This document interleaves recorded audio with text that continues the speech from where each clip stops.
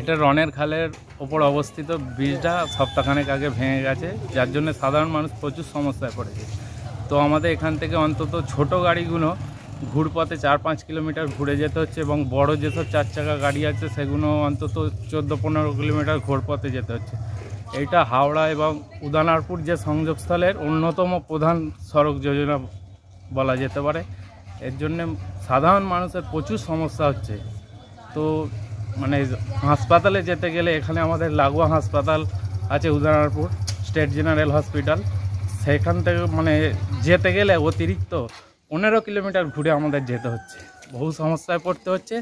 প্রশাসনের কাছে অনুরোধ, যত তাড়াতাড়ি এটা সারানো যায়, আমরা সাধারণ মানুষ হিসেবে এইটাই ওনাদের কাছে হবে আপনারা কি এই রুটে অটো ফটো চালান নাকি? হ্যাঁ অটো চালাই। কোন রুটে চলে এটা? আমাদের উদয়পুর থেকে মানে জাঙ্গিপাড়া যায় রাজারহাট যায় এবং হচ্ছে আটপুরও যায়। আচ্ছা। সমস্যাটা কি দাঁড়িয়েছে? সমস্যা যেতে পারছি না ঘুরে আসছে আরও চার কিলোমিটার ঘুরে আসতে হচ্ছে। কেন? রাস্তার পোলটা ভাঙার জন্য। বীজটা ভেঙে গেছে পোলটা হ্যাঁ। ভেঙে গেছে? পোলটা ভেঙে গেছে। এই পোলটা কি বহু পুরনো? বহু পুরনো। তা আপনারা কি চাইছেন?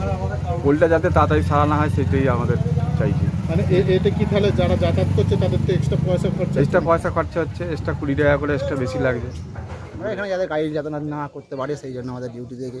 আচ্ছা কদিন ধরে? আমরা এক সপ্তাহ যতদিন ধরে বীজ খারাপ হয়েছে সেদিন ধরে ডিউটি আছে। গাড়ি এলে কি গাড়ি এলে? হ্যাঁ গাড়ি এলে ঘুরিয়ে দিতে হচ্ছে গাড়ি যাওয়া যাবে না।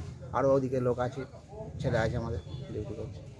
আপনার গজার মোড় থেকে আটপুর হয়ে রাজবলহাট যাবার যে দশ নম্বর রোড বলে ওঠাকে সেই দশ নম্বর রোডের জাস্ট আটপুরটা ক্রস করে রনের খালের ওপরে একটি বহুদিনের পুরানো ব্রিজ ছিল।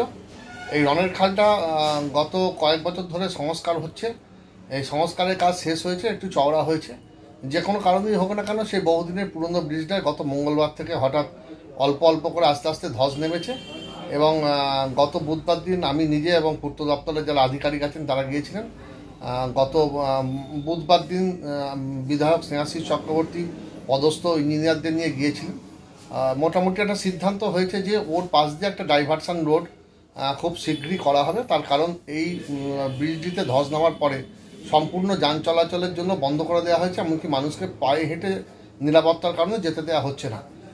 এই অ্যাপ্রোচ বা এই ডাইভারশন রোডটা খুব শীঘ্র তৈরি করে আমরা ট্রেক এবং বাসগুলোকে আমরা থ্রু করার চেষ্টা করছি রাজবলহাটে দিকে বা রাজবলহাট থেকে আটপুরের যে যোগাযোগটা বিচ্ছিন্ন হয়ে গেছে, সেটা আমরা চেষ্টা করছি খুব দ্রুত কাজ করার এবং পিডব্লিউডি পূর্ত দপ্তরের পদস্থ ইঞ্জিনিয়াররা তার প্ল্যান প্রোগ্রাম ঠিক করছে